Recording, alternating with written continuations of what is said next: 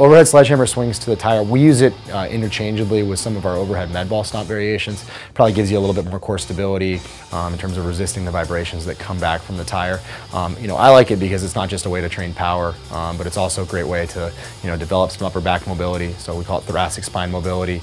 Uh, it's a great way to cue a little bit of glute activation and teach him how to stand tall without just moving through his spine. So you know, those are some of the big coaching points for that. But you know, in reality, some of the coaching points are exactly the same if we were doing overhead stomp variations, whatever it may be. We want to make sure guys get the range through their shoulders, through their hips, and not just you know chewing up their low back. On, on the sledgehammer, generally six per side. Um, you know, we treat it just like we would an overhead med ball throw.